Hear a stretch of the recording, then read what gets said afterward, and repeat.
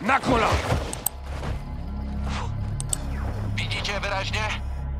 Widzę. Gotowe. Dobra, przekaz na żywo.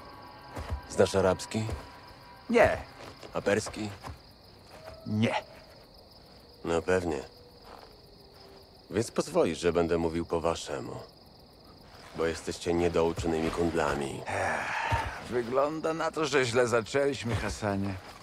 Mówisz do oficera sił specjalnych. Jesteś przywódcą organizacji terrorystycznej. I niby kto to mówi? Jaki masz cel, majorze? A w jakim celu zbombardowaliście mój kraj? Cóż, zgaduję, żeby cię rozjebać? Jesteś bezczelnym przygłupem. Nauczysz się szacunku, gdy twoja ojczyzna zapłonie. Sprzedałeś się kartelowi, Hasanie. Więc gdybyś zniknął, nikt nie wiedziałby, gdzie szukać twoich jebanych zwłok. Torturowanie mnie sprawiłoby ci przyjemność, co? Skąd masz amerykańskie rakiety? Nie obchodzi mnie skąd je ma, a dokąd zmierzają.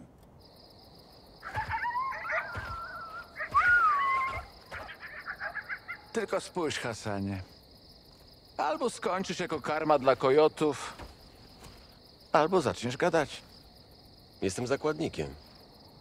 To nielegalne. Jesteś jeńcem wojennym. Iran nie toczy wojny z Meksykiem. Nie łamie żadnego prawa. To ci ludzie i ich dowódcy je łamią. Ty i twój generał Gorbani złamali... Ani słowa o nim!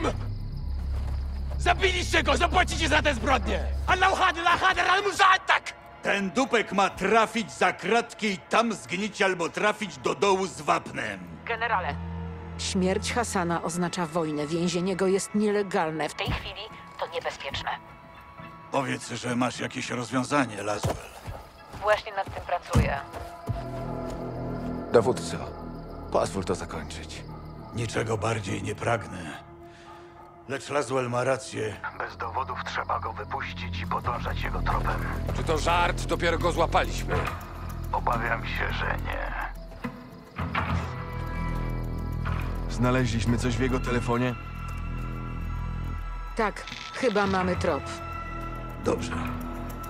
Odstawcie go i wypuśćcie.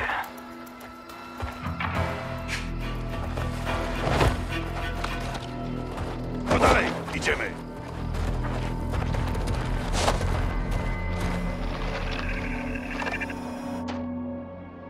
Udało nam się schakować dane z telefonu Hasana. Wskazują, że kontaktował się z kimś na wybrzeżu Hiszpanii, kiedy go złapaliśmy.